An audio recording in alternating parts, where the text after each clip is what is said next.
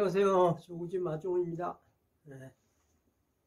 먼저 시간에 한국화라는 무엇인가에 대해서 좀 말씀을 드렸습니다. 그리고 실기도 좀 조금 하고 했는데 이번엔 그 문인화가 무엇인가에 대해서 말씀을 드리려고 이제 준비를 해보니까 이게 이제 문인화를 덜컥 얘기하려면 장시간이 걸릴 것 같아서 그 속에 안에 있는 그 예, 문인화를 알면서 알아야 되는 것들 미리 조금 알아놓고 그리고 이제 시작을 예, 문인화를 다시 말씀을 드리기 위해서 문인화가 무엇이냐의 제목을 그냥 놔두겠습니다. 앞에 놔두고 이제 그 육조 시대죠 사역 사역의 활용육법 들어보셨을 거예요. 이게 이제 한 550년도 쯤이죠. 지금 뭐 한 2000년 됐나? 2000년 안, 안 됐죠, 아직. 그런데 어쨌든 한 1500 몇 년 전 사람이죠. 사역의 화가입니다. 평론가고. 이제 그런데 사역의 하는 육법, 그러면 아주 딱딱하게 다가와요. 지금 그런데 이게 제가 이제 이거를 조금 전 나름대로 또 연구를 해보고 이제 해본 결과 이 율법이라는 거는 우선은 그 사생 밖에 나가서 사실을 보고 그려 음, 그리든 이제 그런 데에서 생긴 글이고요. 그리고 어떤 법을 만들어 놓고 사역이 에, 화가들 뭐 그림 그리려면 이 법대로 따라서 그려라 이거 절대 아닙니다. 그리고 이 저 동양화 쪽의 그 법들은 다 그런 게 아니에요. 먼저 예, 이제 화가가 그리고 또 화가도 이 무슨 법을 만들기 위해서 그린 게 아니라 그냥 그림을 그린 거예요. 그러면 후자들이 그걸 보고 아 이거는 꼭 마치 이런 식이네 저런 식이네 그렇다면 여기다 이제 무슨 법을 이렇게 붙여서 책에 있게 그 이론을 써보자 그래갖고 아마 써놓은 거예요. 그리고 이제 사에게 하는 율법도 에, 내가 사역이 이렇게 이 율법을 만들어 놓고 이대로 그려야 된다, 이대로 평해야 된다가 아니고 나도 그림을 그려봤고 다른 사람 그림 그리는 걸 유심히 보니 보니 자기가 그 그린 화가들의 그 진지한 모습에서 그림에 뭔가를 담아내는 것 같다. 뭔가는 기나 정신 이런 거죠. 그래서 아 거기서 이제 그걸 느끼고 이 화가들이 그림을 그리는 걸 보고 내가 그려보고 그러니까 육법을 만들어 놓고 이렇게 그려라가 아니라 화가들이 그림을 그리는 거 보니까 이런 육법 같이 그리더라. 그래서 내가 그 화가들이 그림 그리는 걸 그냥 여기다 차곡차곡 써 놓은 거다. 이거예요. 쉽지 않습니까? 그렇게 되면. 그래서 여기 지금 이렇게 이제 좀 써놓은 게 있는데, 한국화가 내 성향에 맞는 것 같아서 그리기 재료를 사서 난입 한 줄기라도 쳐보려는데 무슨 수천 수백의 딱딱한 법도 지금 말하자면 무슨 못 가는 법 붙잡는 법, 뭐 사람이 되라 뭐 그리기 전에 뭐 이렇게 뭐 등등 어떤 뭐 6번 6교 뭐 아주 그 많은 그 법도가 어떤 그 기초 사본자 그 서적 안에 있더라 이 말이죠. 그래서 에, 먹을 갈아서 그리려고 하다가 에, 이 사람이 손을 멈칫하게 됩니다. 예, 그럴 거 아니에요? 물론 모두가 필요에 의해서 만들어진 그 법이겠죠. 이제 그러나 처음 그 지필목을 접한 접하신다면 예, 접하신다면 기초 서색을 차라리 덮어놓고 덮어놓고 그냥 먹을 갈아서 하든지에 선 하나라도 그려 보시는 게 좋을 것 같다는 생각입니다. 예. 그래서 이 이제 이 그리려고 하던 분도 그럼 책 덮어놓고 한번 이제 그리기 시작을 이제 해보려고 이제 다시 시도를 했는데 에, 어떻게 그리기 전에 또 엉뚱한 곳에서 이런 조금 뭐 이렇게 실수가 벌어져요. 무슨 뭐냐 별 위에 먹을 가는데 물을 너무 너무 맑은 것도 아니고 조금 보는데 그 물이 꽤 많죠. 그래서 그거를 하루 종일 갈아도 까맣게 안 될 만큼 먹을 물을 많이 본 거예요. 그리고 또, 그 먹을 어떻게 이제 물을 따르나요? 갈아서 간신히 이제, 예, 이렇게 보니, 먹이 이렇게 귀퉁이만 갈려가지고, 뭐 이렇게 삐딱하게 갈렸고, 보기도 알죠. 그래서, 예, 이 지금 법이라는 거 있잖아요. 여기 저 먹관법, 집필법 뭐 이런 거. 그게 그거예요. 정말 좀 먹가는 법. 먹가는 법은 뭐냐? 벼 위에 물을 아주 조금 몇 방울만 넣고 똑바로 앉아서 갈아야 한다. 그 삐딱하게 앉아서 갈았더니 먹이 삐뚤어지니까 무슨 뭐 똑바로 앉으라는 무슨 뭐저 임금 앞에 앉는다는 게 아니고 그래서 갈아야 한다. 이것이 법이에요. 이것이. 예, 이것이 먹가는 법. 그래서 이는 스스로 예, 법 한문을 스스로 깨우친 거지. 그렇죠? 예. 한국화의 그 수천 수백 기법은 스스로 그리면서 이제 이게 앞으로 모두 터득하게 됩니다. 그래서 제 얘기는 이 한국화 특히 동양화 이런 거에는 그 법자가 들어간 게 너무 많아요. 그러니까 사실 그 보고 아주 그 그런 데다가 한자로 또 많이 되어 있죠. 그러니까 여기서부터 용기가 안 나오는 거지. 그래서 이런 것부터는 좀 쉽게 접근을 해야 될 것 같다. 그래서 법은 그냥 법자만 빼면 이- 그냥 그 이게 저못 갈아서 아니 먹, 물 조금만 넣고 먹 갈아서 대충 갈아서 먹장 반듯이 앉아서 갈아서 두세 이제 이제 먹물을 촉촉히 조금만 찍어서 이렇게 선을 그으면 된다. 이제 이렇게 말 몇 마디 하면 되는데 이것을 무슨 예, 먹가는 법, 지필법, 무슨 문필법, 기필 뭐 이렇게 해갖고 아주 그 어렵게 예, 처음 접근하는 사람들이 어렵게 이제 만드는 건 아니고 이런 생각을 이제 해봅니다. 그래서 이런 거 처음에 시작할 때 너무 신경 쓰지 말고 그냥 무조건 하선지에다가 뭐 낙서도 좋고 뭣도 좋고 막 이렇게 좀뭐푹 치면서 이리저리 이렇게 해서 손하고 붓하고 좀 이렇게 뭐하고 친하게 그리고 먹 가는 거 물 조절 뭐 지필하는 거 이런 거 이제 자기가 써보면 다 알아요. 됩니다. 이제 그렇게 하면 되는데 이게 이제 사행위 하는 율법 전에 왜 이 얘기를 하느냐 하면은 그 법이라는 게 그 법도 이렇게 사행하는 율법. 그러면 아휴 뭐 그림이나 그리지 무슨 또 법이야. 이제 이렇게 할 수도 있기 때문에.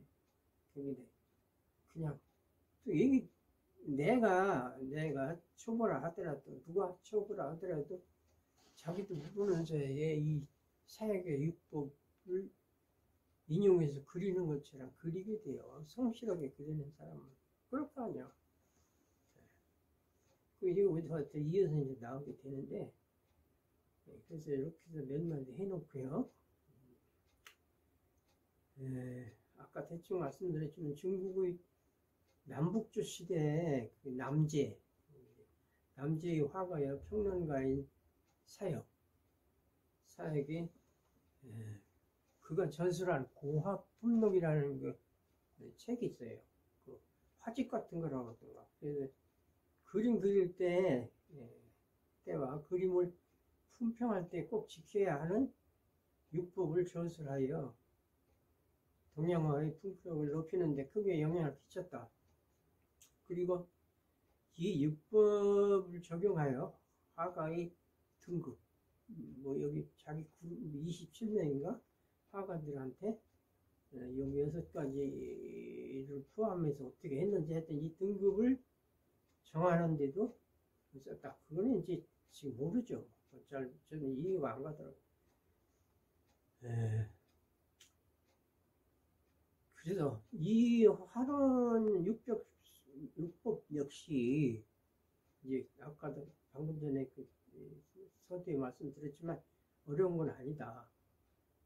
사회계 육법을 먼저 만들어 놓고 그대로 그려라가 아니라 그림을 결과 이렇게 이렇기도 하고 다른 화가들이 그림 그리는 진지한 모습을 보아도 그렇고 해서 접하는 그 태도의 진지한 그걸 보고 쓴 글이다. 세계 육법을 먼저 만들어 놓고 그대로 그리려가 아니라 그리만 그려본 결과 그렇기도 하고 다른 화가들이 그림을 그리는 진지한 모습을 보아도 그렇고 해서 화가들의 작업 태도를 그대로 옮겨 적어본 것이 화론 육법입니다. 라고 고로 이제 라고 이렇게 이제 썼다 이 말이에요. 점점 고로 어렵게 접근은 금물이다. 제발 이 한국화 이, 이런 거 볼 때 책잘 들여다보고 뭐 이제 처음에 이제 물론 그런 서적에 이제 도움이 되긴 되지만 그래도 어려운 건 다 그냥 무시하고 넘어가면 나중에 그게 다 알게 됩니다. 스스로 알게 돼요. 자기 그림도 스스로 다 알게 됩니다. 질적인 문제 이런 거. 처음엔 잘 이해를 못하지만. 자, 그러면 여기서 조금 이게 이제 좀 얘기가 자꾸 길어지니까 여기서 그림 하나를 이제 보고 또 넘어가겠 습니다. 이 그림 하나 이렇게 나왔어요. 여기 이제 그림. 이게 육조 시대에 많이 그리던 청록 산수입니다. 청록 산수화. 그래서 어떻게 보면 민화풍 비슷하죠. 민화풍 비슷하고 이제 그리는 그 방법은요. 지금 오래돼서 이게 누렇게 돼서 잘 에, 이렇게 산봉우리 같은 게 이제 윤곽선을 그렸어요. 윤곽선. 윤곽 이 가테들이 선을 그렸다고. 근데 요즘 준법 쓰는 거는 테두리 그리지 않죠. 테두리를 그리고 그 안에 청록색을 칠해서 이렇게 풍경을 만들었어요. 이 구름 같은 것도 원래 이 남종화 그 준법에서는 이, 이 구름의 윤곽선을 그으면 안 된다고 그랬어요. 근데 여기 청록산소양에서는 구름 예각에 선을 그었죠. 이렇게 그어서 이 구름을 이렇게 만들었습니다. 안개를 만들고 이게 뭐 잘 안 보여서 지금 뭐 사람도 행인도 있고 말투하고 하는 양반도 있고 뭐 많이 있어요. 그래서 이런 이제 그림을 할때 슬쩍 이제 보고 어, 가시는 것도 육조 시대면 오래전이잖아요. 그러면 이때는 우리가 그리는 요새 그 수묵화 이런 거는 없었고요. 요거 지금 이 민화 비슷한 이런 정록 산수화 이게 한참 성행했고 요 이제 이어서 예, 여기서 또 그림을 하나 볼 텐데 이거 이제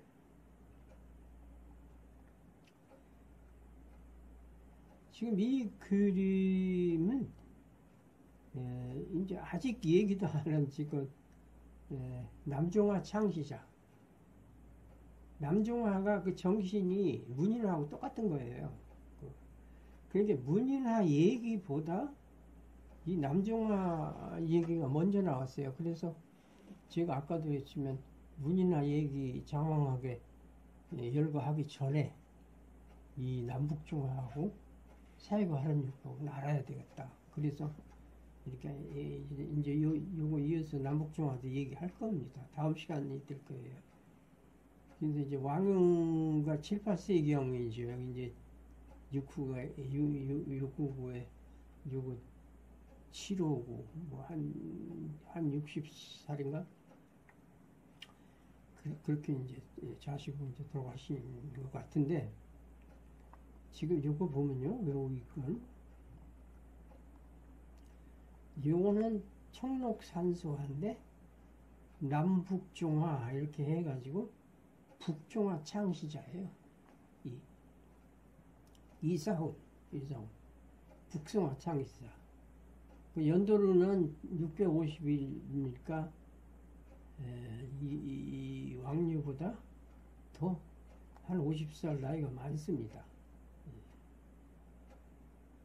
그런데 이사우는 원체 화풍 화가 궁에서 그, 그 화원 만들어 가지고 그 저기 그, 그 화원에서 이제 그리는 화가들 이제 화가들 화원이라고 도 했어요. 그, 그 화원에 속하는 화가예요. 예. 그래서 그림도 잘 그리고 그러는데 이 이제 북종하는 정신예술이고 그 작품성을 그렇게 따지지 않고 이제 이렇거든요. 그러니까 임금이 시켜서 그리는데 무슨 내가 창작 화가냐? 그러니까 나는 북종하다. 북종하는 화가가 좀 쉽게 얘기해서 그 화가라고 잘 안 넣는 게 북종화예요. 지금 우리가 여기서 뭐 그림값이 비싸다, 뭐 그림에 혼이 들었다, 뭐 화가다, 문인묵각이다는 건 전부 남종화, 문인화 화가들 얘기죠. 이 북종화, 뭐 이런 민화 그리는 사람은 아닙니다. 배제된 거죠. 지금은 뭐, 뭐 그런 거 별로 따지지 않지만, 그때는.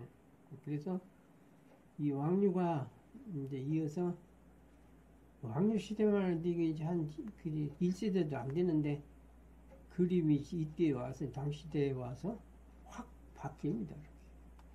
그래서 설경을 이렇게 그리죠. 설경을 그리고 이게 지금 바짝 이게 지금 나 기술이 부족해서 이거 바짝 그러지 못하는데 땡땡땡땡땡땡 이렇게 이 점을 찍어서 이렇게 만들었어요. 이렇게 골. 골진 거 있죠? 이러고, 이러고, 이렇게 골지고, 이렇게 골이 파였어요. 이걸 점점점점점점 찍어서. 그래갖고 이 왕룡은 이 당시에 색깔로 그린, 줄을 몰랐다고 그래. 그리고 먹으로만 그리기 때문에 색깔이 없는 것만 이제 골라서 계절도 겨울을 택하고 이렇게 그렸다고 그러고 이 창법은 비, 지금도 비슷해요. 이거 어디 하늘 까맣게 칠하고 하늘 그리고 불 까맣게 칠하고 이게 설경에서는 아주 특이한 거거든요. 그림 설명 나중에 또 기회가 있을 거예요. 이렇게 이제 그냥 지도하니까 이렇게 하나씩 들여다보고 요거는 남중화 창시자 왕유 당시대 예, 이제 남중화 창시자고 이 청록산수와 이제 주인은 예, 북중화 창시자라고 이사훈 이사훈 이렇게 해서 여기 사행의 한육법을 어쨌든 지금 쭉 이렇게 말을 들어놨었는데 일단 간단히 요약한 걸 한번 이렇게 들여다보세요. 기운생동 사물의 예형과 내면의 정신 세계를 생동감 있게 그린다. 2번 골법용필 뼈로 그린다. 응물상형 그릴 대상물을 자세히 관찰하고 특징을 살려 그린다. 수류부채 네. 색깔에 따라 칠한다. 경영의치, 적절한 배치, 우도, 전이모사, 선대나 자기 배우는 선생님 그림을 모방해서 그리는 음, 행위하고 또 이 이제 끝으로 예술 작품 그림 이런 걸 보존 관리를 잘 해야 된다 하는 것도 전이모사에 들어갑니다. 이렇게 해서 간단하게 요약본 이걸 한 거고 요법을 여기서 제가 이제 읽어 드릴 텐데 조금 네, 먼저 제가 이렇게 서두에 얘기한 것처럼 중복이 되는 경우가 꽤 있어요. 왜 그냥 그렇게 중복이 될 수 있도록 했느냐? 이렇게 해야 이거 어려운 얘기는 아니에요 절대 제가 지금 얘기한 거. 뭐 그저 사회가 하는 율법을 만들어 놓고 또 법을 지켜서 그려 뭐 이게 아니고 오히려 그리는 사람이 먼저 그 이렇게 그리는 걸 보니까 어 좀 신기하고 그래서 어 이렇게 그리는구나 이렇게 그리면 된다라고 적은 건데 그렇잖아요. 그래서 다소 중복되는 경우가 있을 거예요. 이제 이걸 여기서부터 기운 생동 이제 본론을 이제 설명을 하는데 그래서 이것도 뭐 그냥 편하게 했어요. 이거 설명을 들어가기 전에 우선 한마디 말씀드려야 될 것이 있습니다. 이는 이 어려운 육조 미학을 그냥 이웃집 아저씨와 대화하는 것처럼 좀 쉽게 풀어드릴 수 있기 때문입니다. 제가 이렇게 하는 건 어떤 친구가 갑자기 어떤 친구가 갑자기 멋진 산수와 한 짐을 들고 나와서 여러, 여러 사람들 앞에 놓고 예, 감상하기를 원하자.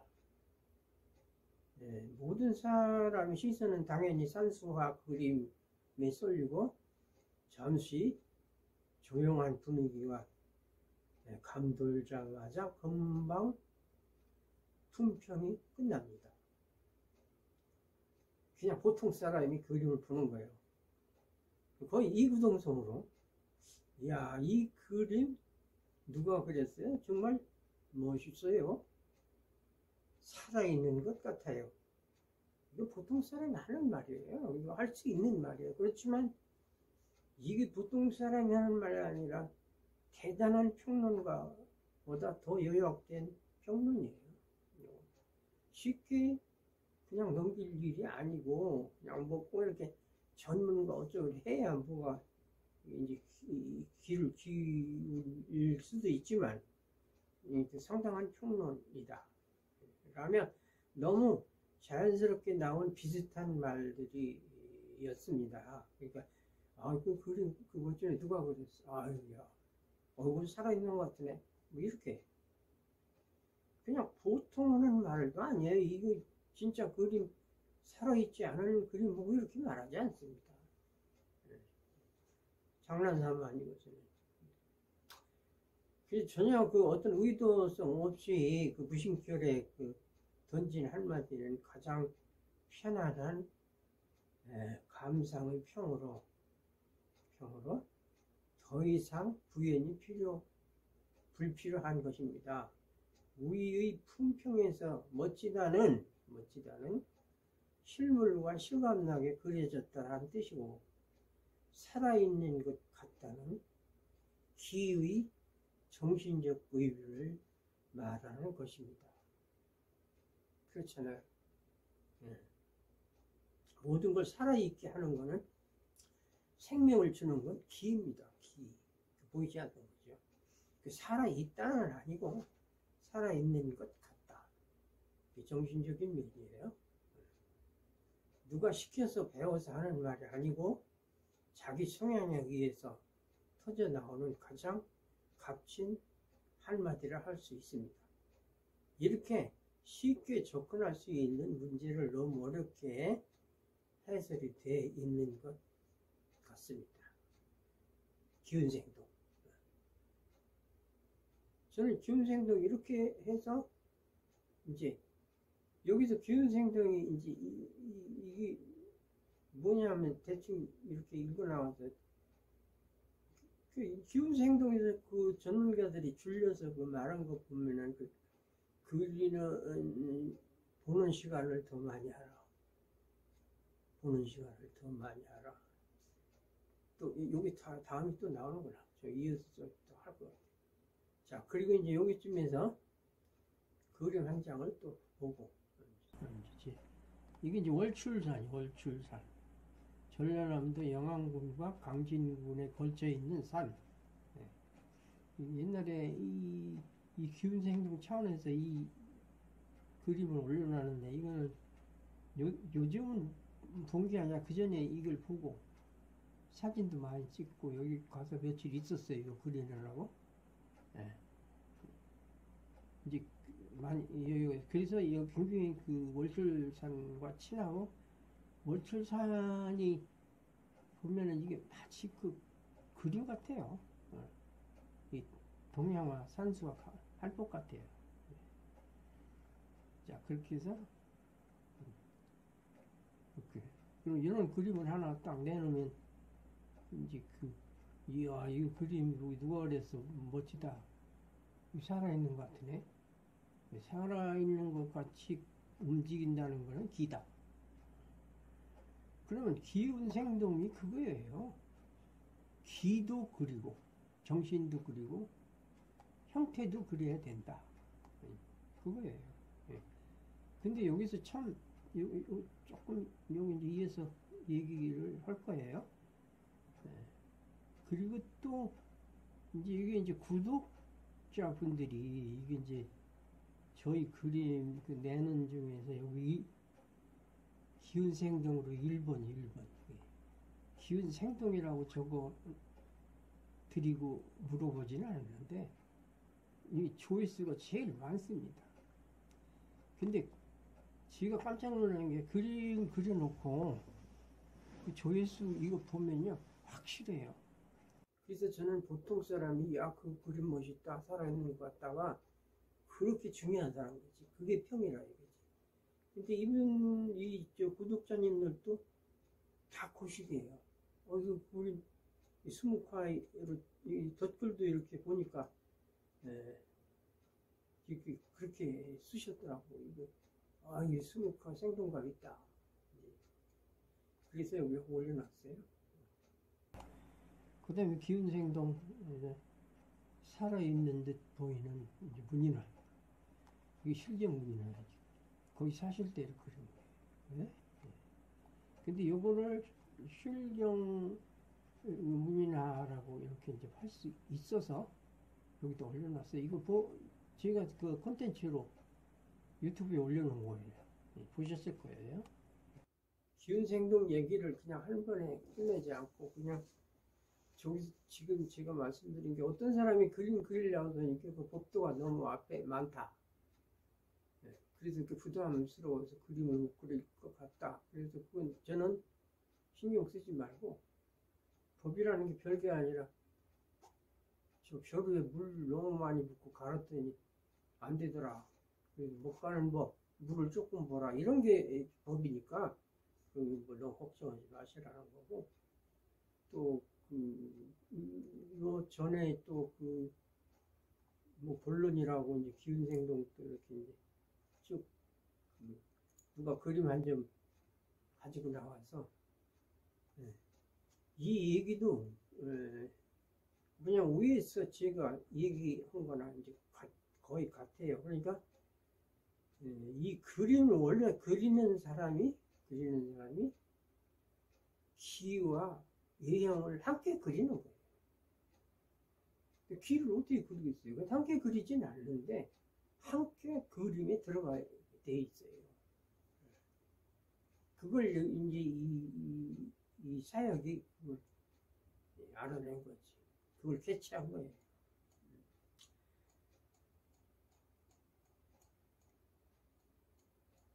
그렇고 여기서는 또 음, 조금 더 이제 조금 더 이게 뭐야 조금 유식한 것도 아니고 이거 조금 뭐 전문적인 것도 아니에요. 그냥 이렇게 해봤어야 돼요.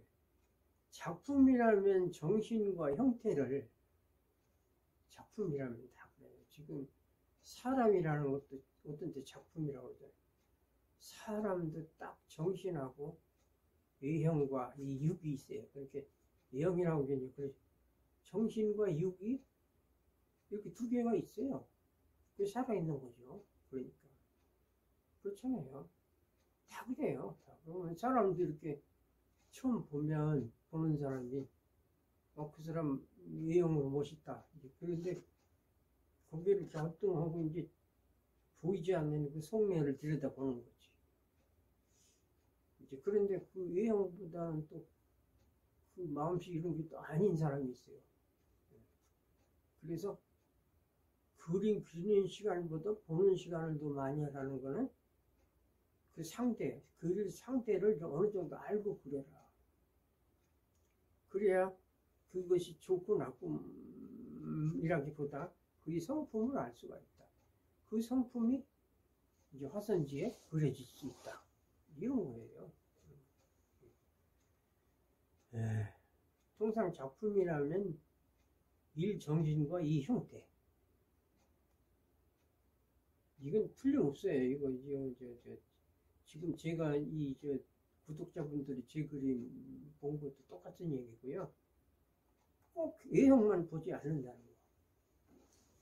그럼 보통 사람이 왜 그림을 외형만 보지 않겠어요?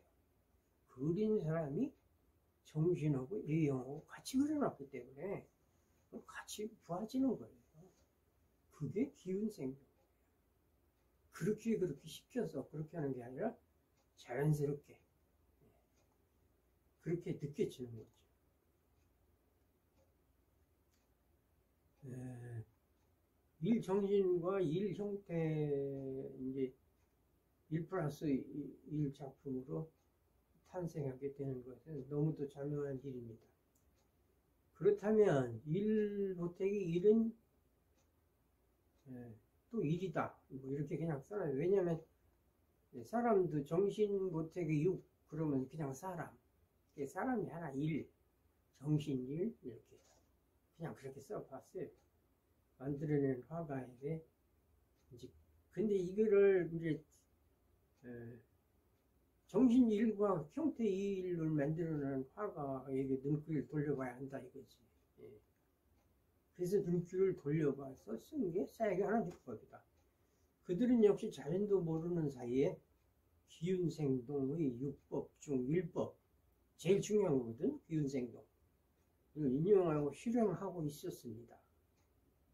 그는 길을 떠나 여기서 이제 그 원래 전문가들이 설명하고 똑같은 얘기예요.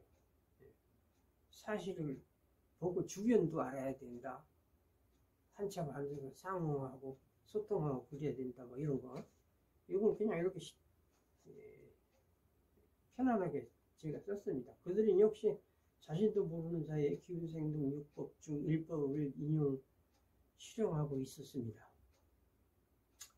그는 길을 떠나 그림을 그리려고 길을 떠나 한참 만에 발길을 멈추고 여기가 어디냐를 확인 확인합니다. 그릴 장소를 확실히 정한 다음 앉을 자리를 마련하고 멍하니 그릴 대상과 무어라 중얼중얼 교감을 하게 됩니다. 이제 내 마음 알겠다는 듯 화판을 펴고 그리기를 그리기에 들어가는데 왠지 마음이 그래도 안정되지 아니하여 하염없이 앉아 있다가 그럼 이거 보는 시간을 많이 한다는 얘기예요. 자연스럽게 이렇게 돼요. 이렇게 사생 나가보면 자기 숨소리마저 조용히 느껴지지 않을 때 예, 예, 이제 잡심을 걷어내고 예, 평심으로 안정하고 이제 그리기 시작하는데 이 화가는 적어도 풍경 하나를 바꿔서 그리더라도 나무 하나 그리고 가지 어떻게 생겼나 쳐다보고 또 옆에 나무 또 쳐다보고 계속 살펴야 돼. 어떤 전문가보다 살피는 데는 뭐 화가 이상 없습니다. 그림 이상 없어요. 자 이렇게 일필일필 그려 나갑니다. 이 화가의 화가는 원래 기운생동을 알지도 들어보지도 못했고 못하고 무심결에 그리기 시작한 그림은 벌써 화판을 가득 메우고 있었습니다. 이때 그 뒤에서 조용히 지켜보던 한 행인이 아, 저 화가 선생님 그림이 살아있는 것 살아있는 것 같아요. 와, 아까 그 얘기죠? 그림 하나 가지고 바다를 조용한 감동의 멈칫을 하고 있었어요. 이거는 저도 많이 겪은 일입니다. 사생 다닐 때 지나가다 가시는 분들이 또 구경하고 한참 동안 앉아서 구경하시는 분도 있고 예, 그러고서 이제 이, 이 어떤 분이 그렇게 아, 이, 예, 살아있는 그림처럼 그려졌다고 그 좋아하는 응원해주는 그런 거죠. 이 화가는 이제 그렇습니다. 이 화가는 운을 그리면서 마음도 굉장히 운, 운이라는 거는 제가 볼 때는 사역에 봐도 마찬가지예요. 이거는 눈에 보이는 운치예요. 운치라는 풍경이 있음으로써 생기는 거기 때문에 이 운은 이제 이걸 같이 설명하는 분이 많으니까 굉장히 어려워요. 기운이라는 근력 그 운자가 아니고 이거는 무슨 음악, 울림 뭐 그런 뜻인데 이, 이 저는 이거 이제 해보니까 작품을 보통 사람이 볼 때 예형과 정신 두 가지를 보듯이 그리는 사람도 두 가지를 그려야 된다. 이거예요 지금. 그리는 사람이 두 가지를 그렸기 때문에 그렇게 보는 거지. 보통 사람이 그 눈이라는 게 대단한 거거든요. 그, 그게 진실이죠. 그래서 예. 근데 그 이제 그 운을 그릴 때 기가 한 필 한필 그 필에 딸려 딸려 들어가는 거예요. 얼만큼 태도 여하에 따라서 정신이 마음이 많이 딸려 들어가기도 하고 안 딸려 들어가기도 하고 이렇게 되는 거예요. 그렇다면 이제 화선지에 옮겨 단 이렇게 이제 마음이 따라간단 말이죠. 에, 살아있는 것 같은 에, 생동은 금방이라도 그렇게 해서 그림을 튀어나올 듯. 그림 에, 잘 그리면 아주 그 가지 같은 게 살아서 밖으로 튀어나올 것 같지 않습니까? 예. 근데 사역의 생각이 이런 것이 아니었을까 하는 생각이 듭니다. 사역이 이런 생, 이런 느낌, 이런 생각을 가지고 이 육법을 이 글을 썼다 이거예요. 예. 이렇게 되면 거 하나도 없죠. 예. 없습니다. 예. 이건 진짜 진실이고 이 보통 사람이 그림 하나 평에달라 야 그거 멋있다고 그 살아있는 것 같으네 이거 거짓 하나도 없어요. 그린 사람이 그린 사람이 정신과 형태를 함께 그려 넣기 때문에 보는 자가 그렇게 보는 거지. 그렇잖아요. 그렇게 그려놓지도 않은데, 그렇게. 그림이라고 또 다 사람이 이렇게 있구나. 그림 뭐 현찮게 이렇게 어떤 태도에 따라서 잘못 그리면 음, 그런 게 전혀 정신이 보이지 않죠. 그런 그림한테는 뭐 그림이 살아있다 그렇게 말하나요? 맞죠. 네, 그리고 이제 2번부터 했는데 2번 이제 골법 용필 뼈로 그린다 입니다. 붓으로 움직일 때 손가락으로 까딱까딱 하지 않고 이제 골법은 이거예요. 지금 골법 이거 설명들 한 거 보면 굉장히 뭐 여러 가지 그거 했던데 제가 이건 알아요. 확실하게. 그림을 그릴 때 이 사군자나 이 한과 아무리 짧은 짧은 선이라도 지금 제가 하는 거 보세요. 이렇게 이렇게 손끝으로 까딱 까딱 까딱 이렇게 하죠. 이렇게 이렇게 하는 게 아니라 이건 어떻게 손이 움직이죠. 몸도 움직이잖아. 그죠? 자, 여기까지 는 몸도 이렇게 올라가야지. 그러니까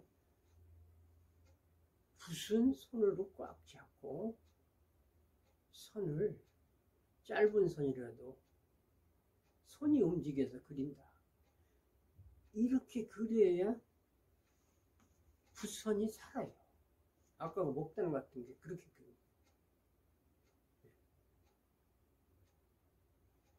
그것이 골법 연필이다. 심지어 뭐 골, 뭐 골의 뼈를 뭐 어떤 구조 뭐 이렇게 얘기한 적도 있는 하는데 결단코 이건 해보면 알아요. 뼈로 그린다. 그리고 응물상형은 응물상형 수류, 수류 부채 경영 위치 이렇게 있는데 에, 응물상형은 서양화 그리는 법 사전에 미술 사전에 그 보면 이게 이 초등학생이가 중 이제 그 사전은 뭐 초, 초등학교용이던가 하여튼 있어요. 근데 보니까 에, 대상물을 잘 관찰해서 특징을 살려 그려라. 예. 똑같아요. 사역이 말한 거하고. 예. 그리고 수술 붙여 색깔에 따라서 색을 칠해라. 예. 그리고 여기서 이제 이 그러면 그게 뭐 무슨 어려울 게 뭐가 있느냐? 그럼 뭐더러 이걸 써 그리라고 쓰냐? 아 채색 빨간색을 빨갛게 칠해라. 그것도 무슨 법이야? 이렇게 할 수도 있는데 이 안에는 이런 게 있어요. 이게 지금 보면 자꾸 정신적인 문제까지 그리는 이제 일이라고 그랬잖아요. 이제 그러다 보면 어떤 사람이 그리다가 빨간 목단이 하나 있는데 이게 싫어. 그 빨간색이 싫어. 그럼 파랗게 칠하면 돼요. 그것이 정신적인 색깔이에요. 그러니까 이 사람이 잘못된 게 아니라 자기는 그때 당시에 그 꽃이 파랬으면 좋았겠다는 그런 기가 움직인 거죠. 파랗게 하는 거죠. 그런 것도 수료 부채다. 경영 위치 이건 이제 구도죠. 구도 적절한 구도. 파파 어, 이제 화면이 있으면 그 얼마만큼 그림을 어디다 뭘 배치하고 이것을 간단하게 한 사람은 곽희라고 이제 송나라 시대에 중국 곽희라는 유명한 화가가 있는데 이 삼원법이라고 있어요. 삼원법. 시원, 이제 평원, 고원 이렇게 있는데 시문은 내려다보고 그러는 거, 평원은 바로 보고 그러는 거, 고원은 올려다보고 이렇게 삼원법. 예, 또뭐 한줄에 또 예, 삼원법도 있고 한데 그거는 어쨌든 요거는 지금 기운생동 얘기니까 이런 예, 얘기들이 곽희 삼원법의 경영 위치에 해당한다. 이렇게 되고 아까 여기서 이제 그 요약본 보면은 전임의사 그 선생 그림 뭐 이렇게 모방하는 거 그런 행위도 그 화가의 행위다 이제 이렇게 했고 이건 똑같아요. 예, 조금 설명이 조금 글이 길 뿐이지 작품 보존 관리. 예. 이렇게 해가지고 이 이제 육법은 세계적으로 유명한 글이 길로 알려지는가 하면 동양 동양권의 화가들은 물론 서양 쪽에서도 관심을 에, 관심을 가지는 육법으로 등장합니다. 작품을 제작하는 화가들과 이를 평론하는 평론가들은 이의 하는 육법에 의존해 그리고 그리고 또 평을 하고 해오고 또 하는 것이 사실입니다. 이 율법의 저술자 사역은 이에 관련해서 섬세한 해설을 글 남기지 않았다는 거예요. 이게 제 문제예요. 이 기운세 행동이 뭐냐는 걸 섬세한 그 해설을 남겨놔 후자들이 이제 왔다 갔다 갈등을 하는데 이게 아마 그랬다는 것 같아요. 그래서 더군다나 이 김생동에 대한 얘기가 많이 예, 사람마다 조금 견해가 조금 다르다 이렇게 할 수도 있어요. 그러므로 후자들의 기운생동 견해는 조금 분분할 수밖에 없을 것 같습니다. 저 역시 이 기운생동에 대해 큰 관심을 가지고 실질적 체험을 손수 실천하며 연구 한 바 있습니다. 저는 기울생동 대로라기보다 많이 사생 다니면서 내가 그리는 행위와 기운 생동과 이렇게 예, 서로 이렇게 음, 비교를 하고 거기에 붙여봤을 때 아, 그게 그거다 비슷한 한 것 같다. 이제 이런 생각을 많이 했어요. 그래서 음, 이거는 자 이렇게 해서 일단은 음, 그 기운생동 얘기를 여기서 이제 마쳐야 되겠어요. 음, 시간이 꽤 걸린 것 같은데. 자, 일단 마치고, 이제 그 실기 시간으로 이제 들어가는데, 실기는 제가 이번에 해란도 그려보고 이제 하겠다 했는데, 지금 작년, 이- 지금 2021년이죠? 그러면 이제 2000년도? 이제 이 그린 그림인데 1, 2년 전에도 제가 지금보다 힘이 더 나은 것 같아요. 그때 그림 보면. 그래서 이걸 이제 실기를 해란 실기를 이렇게 이제 그려봤는데 그 전에 제가 올려놓은 거 있잖아요. 그것만 못한 것 같아요, 오히려. 뭐, 거기는 뭐 설명도 굉장히 그냥 너왜 그런 소리까지 다 설명이라고 그런 잔소리 같이 이제 이럴 정도로 이제 했기 때문에 오히려 근데 하나 문제가 있더라고. 알아들을 수가 있나. 이게 발음이 안 좋으니까. 그래서 여기에다가 차라리 자막 작업을 지금 하고 있어요. 하나. 이 자막, 자막도 이게 이 발음이 좋아야 그뭐 그 인공지능인가 이것이 이렇게 이제 그 발음을 해서 글씨로 나타내 주는데 우리 같은 이 말은 3분의 1도 안 맞아요. 그러니까 전부 써야 돼 제가.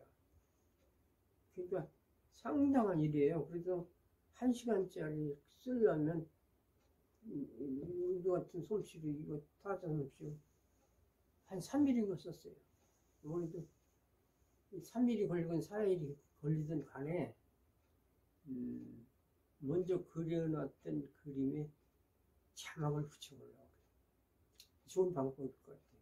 그렇고 이제 실제 이제 실, 실경을 위주로 한다 그러잖아요. 지금 그럼 실경에서 이제 앞으로 나한 실경, 뭐 대나무 실경 이런 거 할 거예요, 진짜.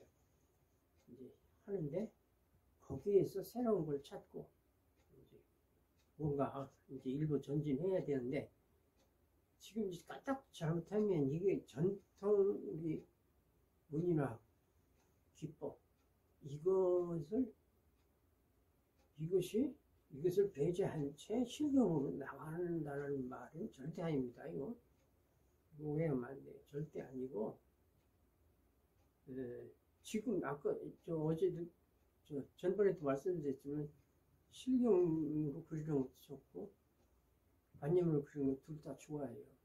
좋고 에, 훌륭한 예술인데 이 관념으로 많이 그려봤잖아요. 그리고 구도도 다 그게 그거 그러니까 좀 새로운 게 있나 하고 다시 어쩌면 처음부터 돌아가보는 거지 실경으로 가보는 거예요.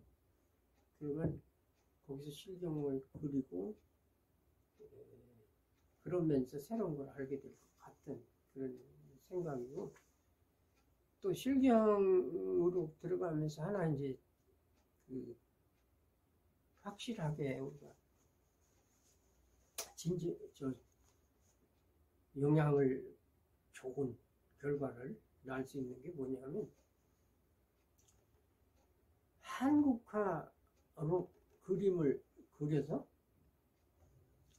이제 공모전 얘기나 전시 뺏기 이제 얘기를 할 수가 없는 게 우리 지금 한국화 기법은 뭐냐? 한국화 기법이 하나가 아니죠. 한국화 기, 기법은 수십 수백 가지예요. 지금 이렇게 저렇게 같은 준이를 하더라도 사람마다 다 다르고 그래서 저도 지금 현재 한국화에 그리는 준 이름을 뭐라고 붙이느냐 종합준이라고 할 수도 없고 한국화 준이라고 하면은 쓴 자는 그렇게 생각할 수 있지만 듣는 사람은 그냥 하나로 생각할 수밖에 없고 그래서 지금 지금 생각한 게 전형적 전형적 한국화 기법 이렇게 한번 해볼까 이제 그러, 그러거든요. 어쨌든 전형적 한국화 기법으로 향하는 거예요. 문인화를 문인화 실경은 또 산수와 문인산수화 그죠? 문인산수화 문인산수화도 결국 조금 섬세하게 그리면 요즘 한국화 그리는 기법으로 넘어가는 겁니다. 넘어가는 건지 올라가는 건지 모르겠어요 지금. 어쨌든 그렇게 하는 그 효과가 있어요. 그럴 거 아니에요. 지금 뭐 미술대전 같은 데 가보니까 뭐 아주 실경상에서 꼼꼼하게 막 이렇게 해서 이제 그려놨는데 아주 가지 같은 것도 리얼하게 이렇게 했는데 에, 아 저거 어떡하나 어떠지 않아요? 이 문이나 기본 똑같은 거예요. 똑같은 거라는 걸 생각하시면 돼요. 그래서 문이나 기법에서 실경으로 넘어가는 거는 그쪽으로 가는 거는 전형적인 한국화 그리기로 가는 것이다. 굉장히 바람직한 거예요. 그렇기 때문에 문인화가 한국화보다 좋으냐 나쁘냐 지금 볼수 없어요. 문인화가 한국화 기법으로 가기 때문에 한국화 기법이 대단한 거 아니에요. 한국화 기법이라고 딱 있는 게 아니라 이게 수백 가지이기 때문에 네, 이거를 네. 근데 문이나 기법보다 현재 한국화 기법이 좋지 않아요. 굳이 나보고 따질 않아요. 이제 그게 거기 거기니까 네, 그렇게 하시고 그런 그 이점이 있을 것이다. 한국화로 가는 전형적 기법이 한국화로 가는 네, 어떤 그런 네, 혜택이 아, 혜택은 아니고 네, 그런 음, 좋은 결과를 날수 있다. 이겁니다. 자, 그러면 실비 여기서 마치고 그 휘화 음, 이제 휘화 그 복습 복습으로 이제 그걸 하거든요. 지난번에 제가 콘텐츠 올려놨던 걸 다시 재검토해서 자막을 올, 올리고 네. 거기서 뭐 또 빠진 빠진 거 있으면 보충도 하고 이렇게 해서 만들어 보려고 그래요. 자, 그럼 실비로 넘어가겠습니다. 네.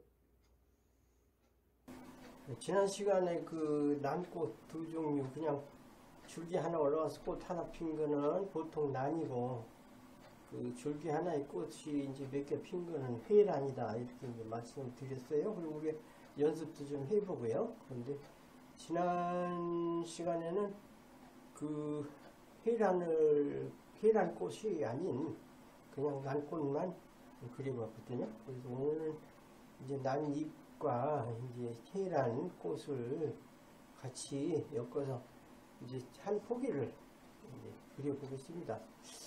음, 그리 전에 그, 이 선의 구성, 난청선 구성상 이렇게 안 되는 거 몇 가지 그, 이렇게 말, 지난번에 말씀드린 것처럼 상교차가 이제 이런 게 상교차거든요. 이렇게 이렇게 이한 군, 한 지점으로 음, 이렇게 세 개가 예, 한 칸으로 이렇게 같잖아요. 그죠? 예, 그래서 음, 한 지점으로 그래서 이게 무슨 이렇게 묶끈으로 이렇게 잎을 묶어맨 것처럼 아주 불편해 보이고 안 좋으니까 아, 이거 좀안 되는 거고요. 그 다음에 하나는 이제 열 십자 교차나 우물 우물정자 이제 공간인데 지금 만약 여기서 난입 하나가 이렇게 지나가면 이게 아주 정 이렇게 열 십자가 되는 거죠. 이게 그래서 이제 보통 뭐 이게 하나의 상식이고 그 무슨 학문이라기보다 그냥 우리가 일상에서 눈으로 봐서 느낌이 안 좋고 안 좋은 거예요. 이거는 이렇게 할 사람은 없을 겁니다. 음, 이게 안 되고 또 게다가 또 이렇게 해서 여기가 이제 이렇게 이 문살 그 저거 같은 우물정자 음, 문양이 이렇게 나오잖아요. 그래서 이건 이제 안 되고 예, 이거는 좀 예, 그거 안 되고 또 이렇게 난잎이 이렇게 해가지고 이제 이건 지금 나란하잖아요 어느 정도. 나란하거든요. 여기 하나 있고 여기 똑같이 이렇게. 이 나란이라는 거는요 바로 옆에 나라는 걸 말하는 거지 한두 개 건너서는 오히려 나란하게 연결이 돼야 아마 정돈이 될 거예요. 음, 그래서 예, 지금 그러면 요거하고 요거 사이에 지금 이게 하나 들어갔거든요. 그럼 또 하나 이렇게 들어가고 뭐 여기다 이제 꽃까지 이렇게 넣는다면 요거 나란한 건좀 이- 시각적으로 이제 조금 눈에 잘 안 띄일 거예요. 그래서 이제 이 나라는 거는 몇 달이 건너서 이렇게 몇 선 건너서 왜 이거고 이거고 나라느냐 그건 이제 좀 그렇고요. 그래서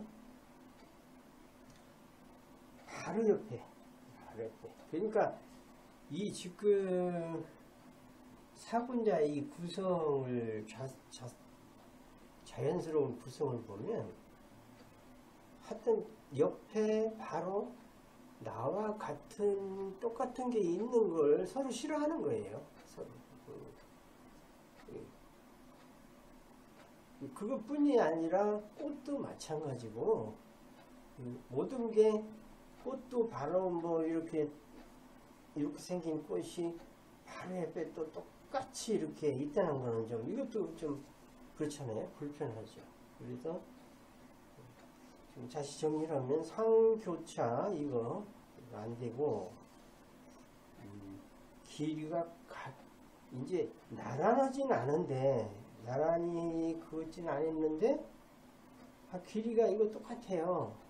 게다가 만약 파봉화를 했을 경우 하나까지 이렇게 똑같으면 이게 저 보기도 이게 이제 아까도 말씀드렸지만 그냥 자연스러운 그 시각으로 이렇게 안 그려요. 웬만하면 이렇게 이상하다고 스스로 느껴요. 초보자는. 그래서 어쨌든 그래도 예, 할머니한테 이제 말씀을 해 드려야 될 것 같아서 하는 거고.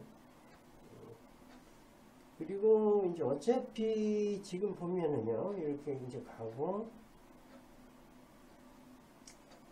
이렇게 했다 그래요. 그러면 여기 이제 삼각 그 공간 같은 건 생기죠. 그, 그건 어쩔 수 없습니다. 오히려 삼각은 사각 같지 않고 안 생길 수가 없죠. 이건 이제 그리고 봉안 이눈 눈 모양 같은 공간 생길 수밖에 없고 또 생겨야 되는 거고요. 그래서 열십자 교차 우물정 공간 나라는 거 길이가 같은 거. 이런 거는 좀 피하는 게 좋다. 이렇게. 예, 우선 뭐 그 외에도 뭐 까다롭게 이제 얘기를 하자면 또 또 몇 가지 있을 수 있어요 이제 지난번 시간에 처음 시작하는 거 이 정두 쪽에 이렇게 이, 이 고기, 고기머리 형으로 해서 요건 이제 그냥 보통 그릴 때 이렇게 하고 또 바위 위에 있을 땐 바위 모양 위에만 이렇게 한다고 그러면 또 다르고 이렇게 되겠죠. 음, 혹시 높아심에서 이왕 구슬 들었으니 지난번 지금 이걸 한번 해, 저, 이제 그림을 하고는 싶은데 미처 손을 못 대신 분이 이거 제가 이거 그리는 거 보고 그 연습을 하실 수 있나 그런 의문이 생깁니다. 그 어쨌든 간에 집에서 좀 이렇게 독학으로 해도 충분합니다. 이거 뭐. 자, 꽃을 한 번 더 그려볼게요. 혹시 잊으셨을까봐. 끝에다가 지금 붓 빠른 상태에서 끝에다가 조금 진한 목 찍어서 이렇게 하나 둘 셋, 넷, 다섯. 지금 요게 이제 요거 요거 나란하잖아요. 그래서 그게 좀 언뜻 저도 지금 생각을 안 그냥 무심결에 이렇게 나왔는데 예. 이게 이렇게 두 개가 나란하면 좀 보기가 또 안 좋아요. 그 지금 이런 원리랑 같습니다. 대칭 같은 대칭 싫어하죠. 이렇게 하고 이 안에 찍는 걸 심점 외웠죠. 심점 마음 심자 심점 이쪽입니다.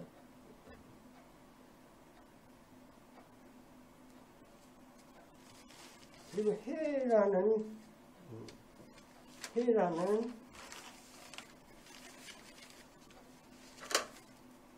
해라는 줄기부터 해 한다고 그랬죠? 줄기 줄기를 가다가 한 번씩 이렇게 쉬고 한한한 번 내지 두 번 쉬면 돼요.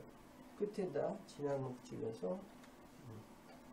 이제 봉우리는 그냥 여기 또 눌러서 가고 여기 여기 또 누르고 여기 누르고 여기 누르고 이건 이제 뒤에 앞뒤 겹친 거죠. 이렇게 뒷거하고 봉우리 이렇게 하고 줄기 줄기는 지그재그는 없다고 했었어요. 없다고 했고 그 꽃은 그냥 난꽃하고 비슷하게 그리면 돼요. 근데 이제 여러 개니까 조금 꽃이 적어질 수는 있다 이거죠. 그리고 꽃이 어때요?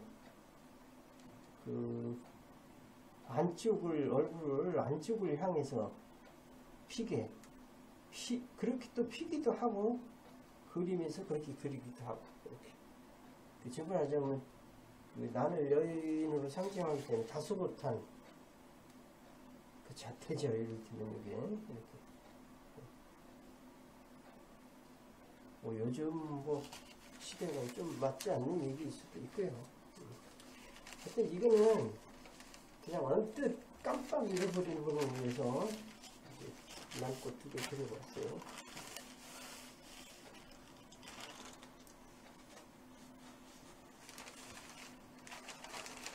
음,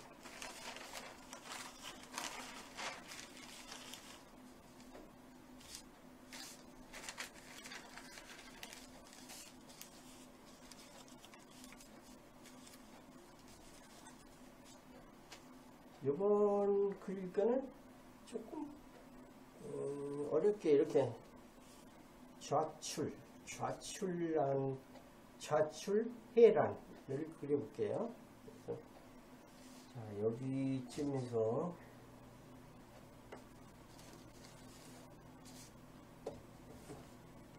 여기쯤에서 이쪽에서 이게 원래 이제 나는 1번 선이 기본 선이기 때문에 1번이 똑바로 가운데서 올라가면 거의 난 포기도 그렇게 되고 1번이 위에서 이렇게 늘어지면 다른 난잎들도 같이 거기 따라오기 때문에 또 늘어지고 그러니까 요 내가 어떤 방향으로 어떤 각도로 그릴 거냐는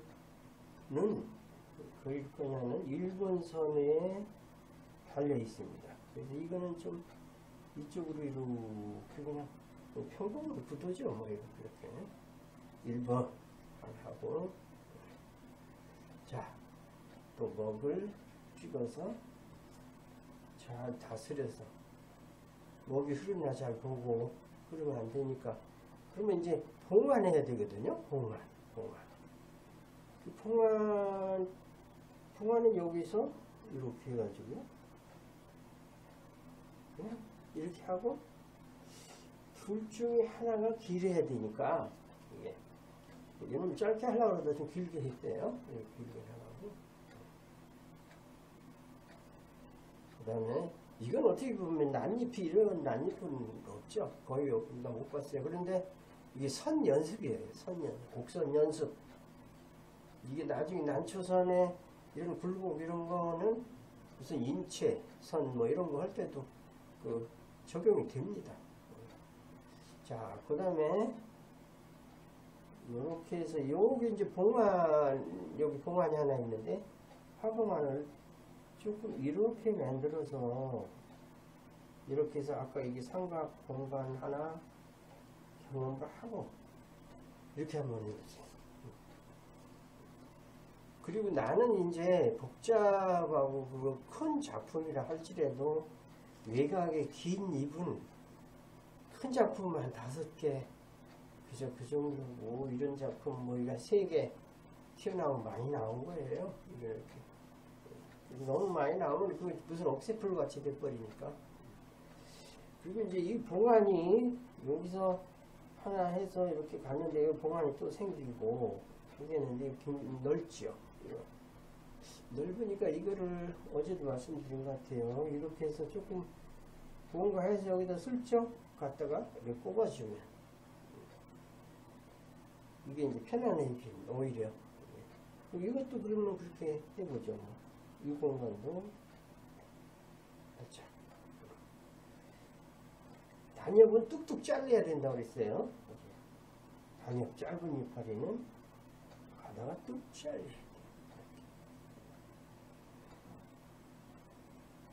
이것도 다 단엽 짧은 잎 이렇게 하고 예, 여기쯤에다가 여기도 좀 더 이렇게 하나 갖다 해놔야 되죠. 이건 뭐 이제 잎은 잎만 해도 됩니다. 그 다음에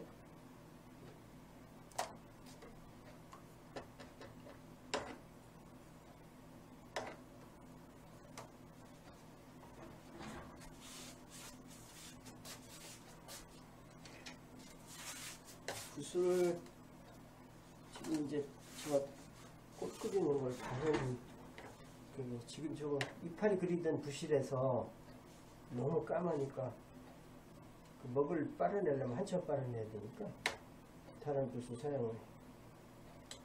다들 그렇게 하시는 게 좋아요. 그 붓을 두세 개 가지고 농담 처리하기 어려 저 어려우니까 그림록만 찍어서 쓰는 붓을 따로 하고. 자 이제 여기서 꽃을 갖다 연결해야 되거든요 꽃, 꽃을 갖다 이제 꽃꽂이라면 이게 이제 병에다 이파리 갖다 이렇게 물씩 꼽았는데 여기서 꽃을 또 한 두 가지 세 가지 이제 꼽는 거 어디다 꼽느냐. 이제 이거하고 같이 어우러지는 예, 같이 어우러지게 이제 꼽아야 되겠죠? 물론 요거 할 때도 이 줄기도 삼교차 되면 안 돼요. 그 삼교차 그런 걸 저는 엄격히 그게 꼭 안 되는 거다. 막 이렇게 하, 하고 싶진 않은데 안 된다고 배웠으니까. 자, 그 다음에 하나, 둘, 셋, 넷, 다섯. 꼭 찍어서 줄기 연결. 그다음에 또 하나, 둘, 셋. 난 꽃에서 하나가 돼 있어요. 그러면 하나는 아주 가늘게 하면 됩니다. 또 이런 줄기도 이렇게 굵어도 상관없어요. 또 다른 거는 가늘게 하면 되니까. 어찌하면 그런 데에서 조금은 그 변화가 생기고 조금 그 회화적인 맛이 예, 거기서 즉 그리 회화적이라는 건 그림, 그림 같은 맛이 생기지 않을까 지금 그런 얘기예요. 자 이렇게 밑에 하나 둘 셋인데 이제 여기 맨 위에 이제 하나 이렇게 주세요. 그리고 여기서 여기는 줄기 목이 너무 깁니다. 그래서 그 어제 배운 해- 배웠던 정점 같은 이런 그러니까 난 꽃이 떨어진 빈 줄기 몇 개를 이렇게 그리면 좋아요. 자, 이렇게 하고, 이따, 심점은 이따 찍죠. 자, 여기 또 하나, 봉우리, 봉우리, 봉우리 그릴 줄기를 하나 이제 그리고. 자, 불 빨아서 끝에 조금 찍어서 여기 접시에다가 이렇게 비벼야 돼요. 이렇게 비벼가지고 자, 하나, 둘, 이거는 둘만 해도 되니까. 그리고 하나, 둘.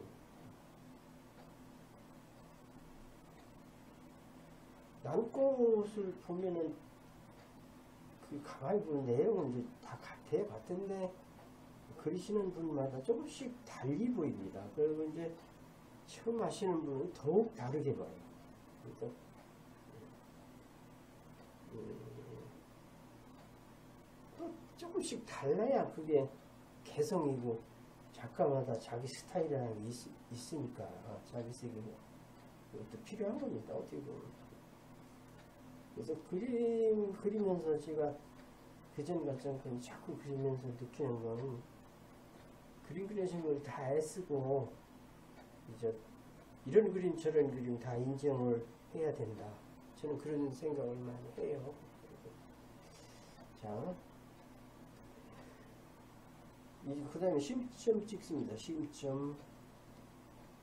저는 요 난 1, 2번을 조금 여기 이, 이게 여우 입이라고 그러는데 입을 조금 여기 악어를 여유 있게 그리거든요. 그래서 여기다 이렇게 이빨처럼 점을 넣기 위해서예요. 이렇게 이제 붙이는 경우도 있고 뭐 있습니다. 자 이렇게 하고 음, 그 이제 하나 비슷하게 그려졌어요. 그려졌는데 이제 이런데 밋밋하고 그러면 이렇게 점을 찍죠. 이게 이게 지난번에 말씀드렸듯이 태점입니다. 태 이기 태 태점이에요. 태점. 그래서 이렇게 하면은 작품이 하나 되고요. 그 이제 이게 이게 지금 화산지 3분의 1절지예요. 근데 여기도 여백이 좀 있고 여기도 있고 그래서 화재를 쓰는 게 좋습니다. 그래서 요즘은 그 글씨들의 글씨들을 그 서예 같은 거 많이 그 이제 저런 평생교육장 이런 데서도 많이 하고 학원에서도 하고 이제 하는데 여기서 그, 그 서예들을 많이 하세요 요새는 그렇지만 그래도 그 글씨 쓰는 건 조금 화제 쓰는 거 이런 거 조금 조금 부담스러워하죠. 그래서 저는 아이 그잘 안 써지면 안 쓰면 된다. 그리고 그 납반이나 좀 내리고 그렇게 하면 되지 않겠느냐 이렇게 어, 말씀을 드립니다. 그래서 지금 이런 걸 이제 정말 이 3분의 1의 이 작품을 하나 제대로 한다 그러면 여백이 양쪽이 거의 대등하게 많이 남아 있, 있거든요. 그래서 여기다는 화재 몇 자 쓰고 여기다 그리고 여기는 이런 때는 이제 어떻게 하면 되느냐 근데 다음 시간에 이제 할 게 뭐냐면 성난 돌, 돌 그리고 옆에 이제 해야 되는데 오늘 조금 이렇게 공간이 남게 이런 데는 지금 이미 그렸지만 이렇게 해서 바위든지 뭐 돌이든지 어쨌든 하나 이렇게 그리 그려서 넣으면 여기가 이 공간이 꽉 차죠. 여기가 태점 역시 태점. 다음 시간에는 이제 이 태점 집기 3년에 대해서 설명 또 드릴게요. 이렇게 그리고 여기다가 화재를 쓰고 그리고 태점은 여기다는 안 찍는 거예요. 꼭대기. 그리고 이 바위 내일 다시 할 거지만 이렇게 이렇게 여기서 시작하는 게 아니라 그리고 음, 이제 이제 화재를 써야죠. 화재를 써야 되는데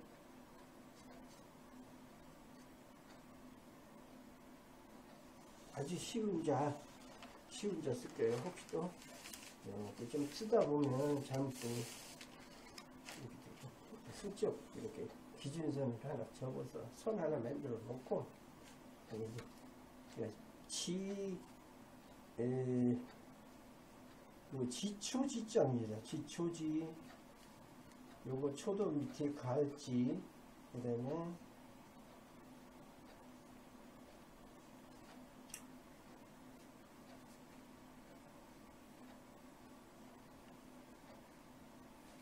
어떻게 갈지자 지, 난, 지초, 난초에, 아, 이게, 또 행서로 써졌네. 지초 난초의 집이다. 이 집실자예요. 집실자. 지초 난초의 집은 군자의 집이라는 얘기입니다. 이 지초도 이것도 뭐그 무슨 불로초 내지는 난 이상으로 치는 지초 지자. 지난 지실. 그리고 금년이 무슨 해입니까? 기해년이죠. 기해. 연도로 이렇게 뭐 그 2019 뭐 이렇게 써도 됩니다. 상관없어요. 요새는 기해.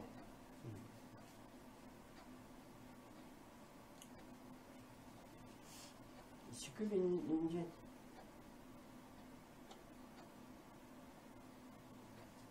지난번에도 그냥 원단이라고 했죠 뭐. 일단. 일단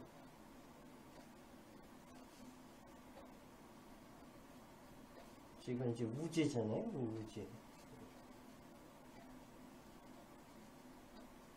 여기 이제 글씨 쓸 자리가 별로 없어요.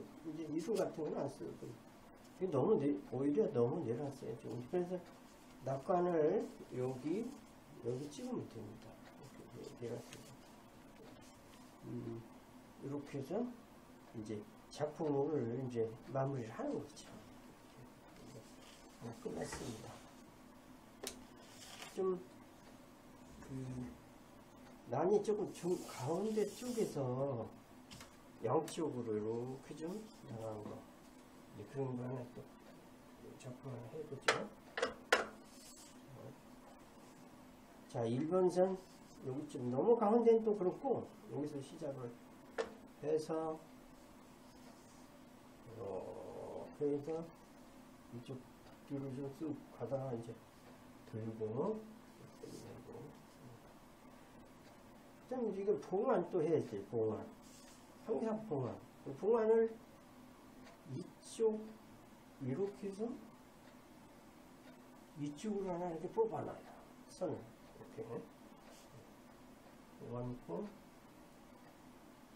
그러면 이거에 대한 또 봉안이 필요하죠. 별도로 내서 할 수도 있고. 이렇게 하고. 이렇게 해서. 이게 무슨 뭐 미리 계획했던 바대로 되지도 않고요. 이건 한 번에 쑥쑥 그리는 그림이라서 그냥 그때그때 형편대로 따라가야 돼요. 이렇게 음, 뭔가 짧게 하려고 했는데 길게 나올 수도 있거든요. 그러면 어, 조금 더 나올까? 음, 그렇고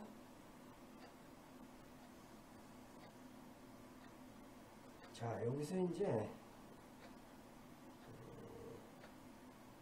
이거 이거 안, 안 되잖아요 하나만. 그러니까 어디 뭐가 쑥 하나 올려야 돼요. 올려야 되는데. 그러면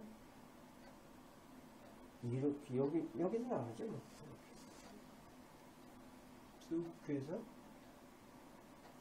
이렇게 많이 차지를 해줘야 이게 여기는 굉장히 복잡해서 이 삼교차 같은 거 굉장히 피하기가 어려워요.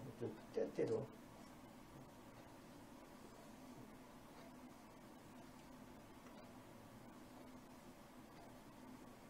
자 단역은 딱딱 잘라버리고요. 여기 이제 공간이 큰데 이거는 여기다가 이제 꽃을 그리면 됩니다. 꽃. 아, 이렇게 하고 자, 붓도 자, 조금 깨끗한 붓으로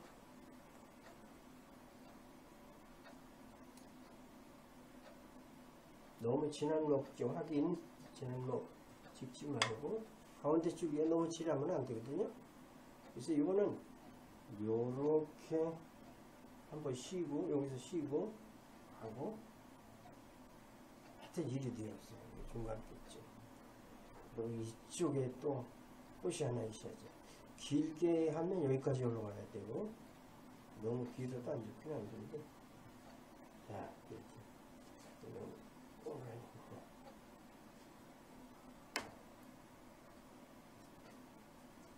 요건 이제 깨끗이 정리된 거, 그, 동영상 앞에 이렇게 이 사진 올려놓은 거 보셨죠? 그 매번 그렇게 할 거예요. 자, 이거는 이제 꽃이 조금 이렇게 늘어진 듯한, 이제 그런 걸로, 이렇게, 이렇게 좀 늘어진 듯한,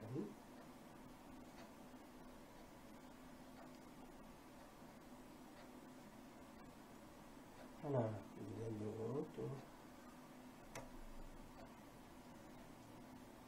깔아붙이고,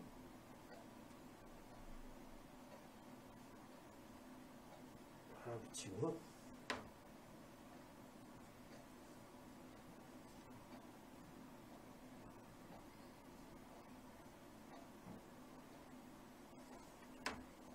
요, 여기 꽃 하나 하려고 그러는데 이건 좀 흐려야 될 것 같은데요. 많이. 좀 흐린 게 좋아요, 이게. 너무 이게 꽃이. 음. 좀 흐려졌네.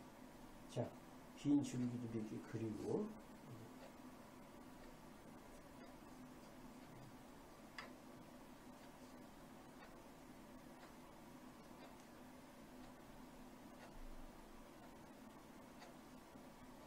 반봉오리, 반봉오리.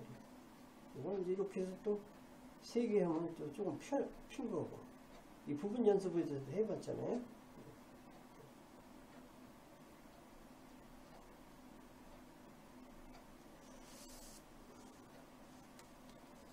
이렇게 하고, 여기 이제 너무 심심하니까 태점 딱 이렇게 세 개를 찍었어요. 이 태점 찍기 어려운 거예요. 이렇게 하고 가장 진한 색으로 아주 그 까만 흰목으로 심점 딱딱딱딱. 찍어서 안쪽으로. 찍어서 안쪽으로. 안쪽이라는 꽃을 보고 하는 얘기예요.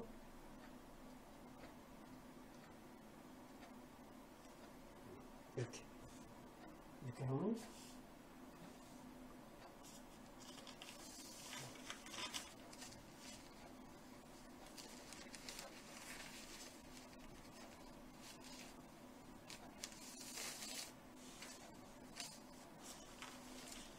그거부터 여기다 화재 요새는 한글로 써도 좋습니다. 한글 캘리그래피 채로 캘리그래피 채라는 뭐 그것이 대단한 전통 그 서예처럼 음, 대단히 어떤 격식을 갖추는 게 아니라 적당히 뭐 음, 별별 거로 다 써도 되니까 붓을 뭐 막대기로 써도 되고 뭐 빗들 빼뜨려도 되는데 하나 딱 제가 알려주고 싶으면 저건 해야 돼. 줄을 맞춰야 돼. 줄, 줄.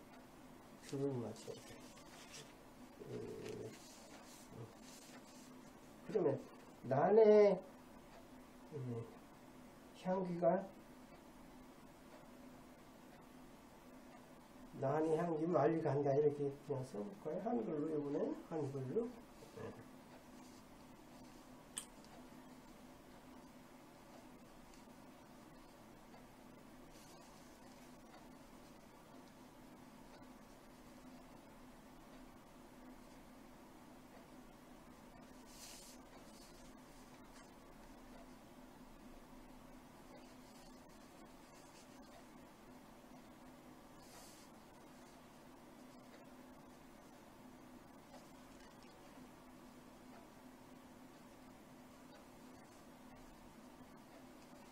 줄이지.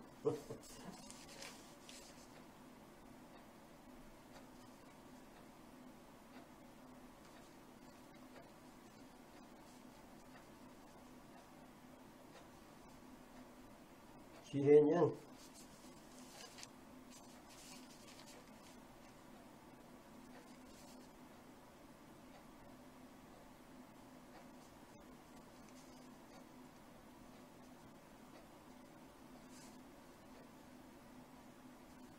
정초에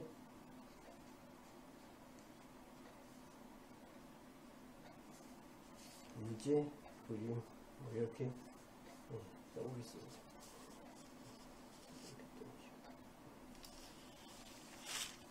지금 뭐, 이 카메라를 켜놓고서 뭐 이걸, 이런 걸 하려니까 그 뜻대로 잘 안 되는 경우가 많네요. 네. 이렇게 해서 이제 여기가 이제 두인이라고 머리 도장 있죠? 여기 그렇게 두인은 뭐냐면 이 글을 이쪽서부터 읽지 말고 두인 쪽에서부터 읽어라 그 뜻이거든.